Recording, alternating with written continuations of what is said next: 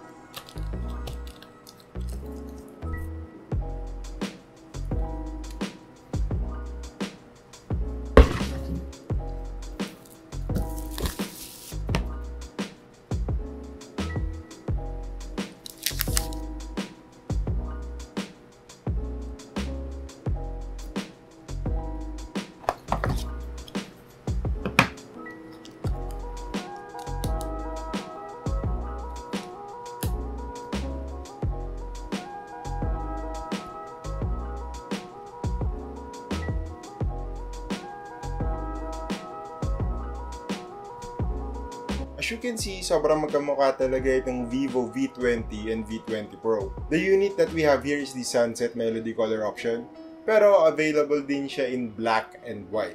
Katulad na lang ng mga ibang Vivo phones na na-review namin recently, katulad ng X50 series, itong V20 series, meron siyang very slick and attractive design. So, pag ginawakan mo siya, sobrang komportable kasi as you can see, manipis lang siya, tsaka medyo curved yung edges. So, pag hinawakan mo siya, sobrang komportable sa kamay. So, ngayon na alam na natin na sobrang magkamukha sila, paano ba natin sila madidistinguish sa isa't isa? Ngayon, ipapakita namin sa inyo yung kanilang design differences para pag tinignan mo, alam mo kung ano yung Vivo V20 at ano yung V20 Pro. And by talking about their design differences, pag-uusapan na rin natin kung ano yung kaibahan nila in terms of specs. First, malalaman mo yung difference nila by looking at the logo sa likod.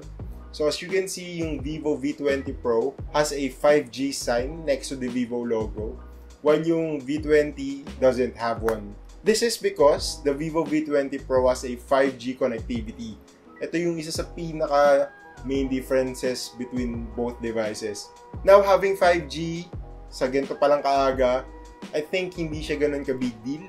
At unless you're living in the metro or few locations na meron ng 5G coverage. Although, it will make the Vivo V20 Pro future-proof. So, kung wala pa kayong 5G ngayon, chances are in the coming months, kung nagpa-follow kayo ng news, mapapansin nyo na yung mga telco sa Philippines are really ramping up their 5G coverage. So yeah, in the next couple of months, may 5G na sa inyo. So, baka ideal din na kunin yung V20 Pro. Pero kung balak nyo rin naman mag-upgrade in the next year or two, siguro mas okay na mag-settle na lang muna kayo ngayon sa non-5G phone at magtipid ng pera. Then, by then, in the next year or two, may mas maganda na 5G phone na option for you.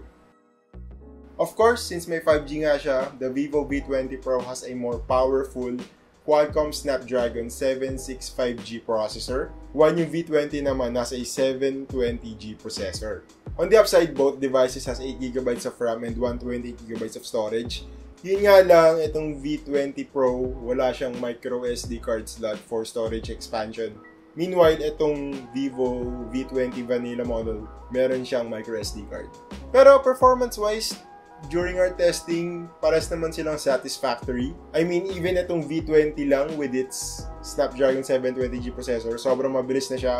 Multitasking, taking pictures, social media, especially if you have online classes, online learning, sobrang solid na siya sa V20. We also tried gaming on this device. We played Call of Duty Mobile at high graphic settings and high frame rate. Tapos, sobrang smooth siya, surprisingly. Pero of course, mas mabilis tong 765G ng V20 Pro. Everything just feels much smoother on this device. In fact, yung Snapdragon 765G is probably the best mid-range processor in the market today. If you don't care much about the numbers, itong smartphone na to actually already provide seamless, almost flagship-like experience. Eh. Moving on, isa pa sa pinaka main distinction between these devices is yung kanyang notch sa harap. As you can see, itong Vivo V20 Pro has a larger notch. This is because meron siyang extra 8 megapixel selfie camera. Pero yung main selfie cameras nila is the same. So para silang may 44 megapixel main selfie camera. Weird nga lang that Vivo went with a notch instead of the more modern na punch hole like what most of its competition have. But still, the front cameras can take really great selfies, as you can see on our sample shots here.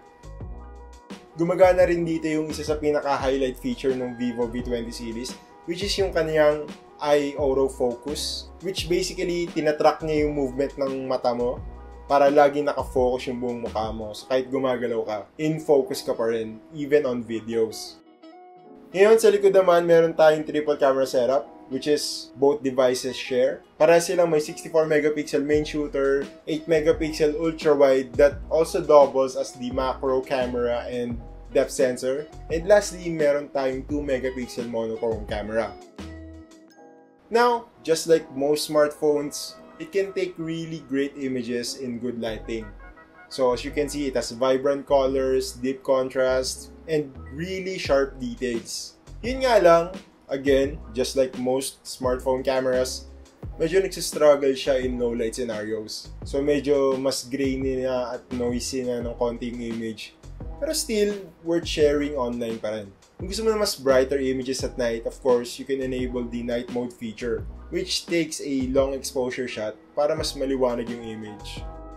Now, maliban din sa 5G logo sa likod, tsaka yung notch sa harap, isa pa sa paraan para ma-distinguish mo yung V20 sa V20 Pro is by looking dun sa, sa bottom. Now, as you can see, yung Vivo V20 Pro doesn't have a headphone jack. Instead, nandito sa ilalim yung kanyang SIM tray which can house 2 nano SIM cards. Dito naman sa V20, as you can see, meron tayong headphone jack which is weirdly enough, kung sino pa yung murang smartphone, yun pa yung may headphone jack. And since wala yung SIM tray dito, sa ilalim, yung SIM tray niya is nasa left side. Speaking of headphone jack, nandito rin sa baba yung kanilang loudspeakers. Uh, disappointingly, wala silang stereo speaker setup. Hindi katulad ng mga competition nila from other brands. Medyo decent naman yung bottom loudspeaker niya, so okay na rin. Pero mas maganda pa rin sana kung meron tayong stereo speaker setup. Especially since medyo maganda yung display niya. And speaking of which, pag-usapan na rin natin yung kanyang display. Now, as you can see, both devices has 6.44-inch Full HD Plus AMOLED displays. So, since AMOLED siya, sobrang vibrant ng colors, tsaka sobrang contrasty since yun yung signature feature ng AMOLED compared dun sa mga IPS panels ng other devices. Yun nga lang, wala siyang high refresh rate which is starting to be a buzzword on smartphones today. So, katulad ng mga OnePlus Nord, meron silang 90Hz or 120Hz refresh rate. Pero dito sa V20 series, stuck lang sila sa 60Hz. Which is, I think, okay lang. Since hindi man siya ganun kabilis, nabawi naman nila sa ganda ng colors and contrast ng display itself. At saka, most apps rin naman kasi doesn't support 90Hz eh, or 120Hz. So, mas maganda rin na nag-stock sila sa 60Hz para din makakonserve ng battery. And, since we're talking about the battery, both devices has 4,000 mAh capacity. Um, siguro yung battery performance is really not the best, pero you can still expect an entire day of smartphone usage just like other smartphones out there, kailangan mo pa rin siya i-charge every night. Pero kung dito sa V20 Pro, kung lagi kayong nakakonect sa 5G, siguro mas masyo-shorten yun. Baka tanghali or hapon pa lang malobat na because although efficient yung processor niya, medyo malakas pa rin talaga kumain yung 5G connectivity dito sa mga earlier smartphone that has it. And speaking of charging, both devices has 33 watts fast charger which can provide a full charge in about an hour depending kung gaano kalobat yung smartphone mo.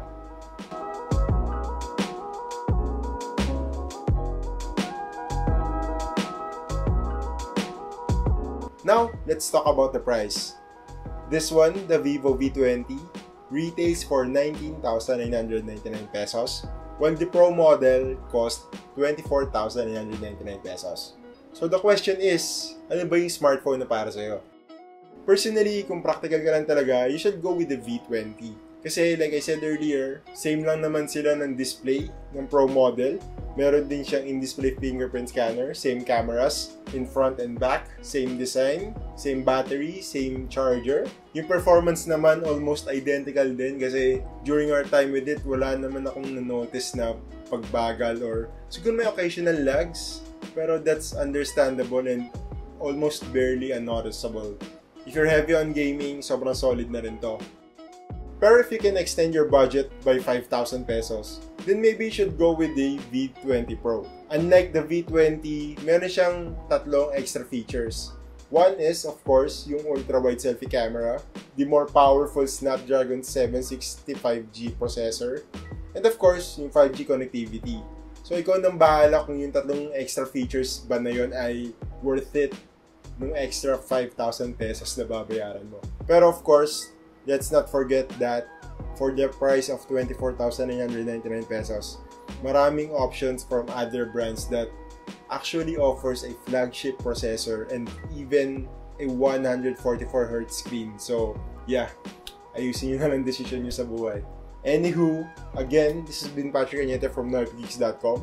We actually have full written reviews of both the Vivo V20 and Vivo V20 Pro sa description below. So check nyo yun. Nandun yung mga benchmarks and more camera samples and availability and price sa Philippines. So, and also don't forget to follow us on Facebook, Twitter, and Instagram. Make sure to hit like, subscribe, and share this video if you liked it. And yeah, basically, that's it. Thank you for watching.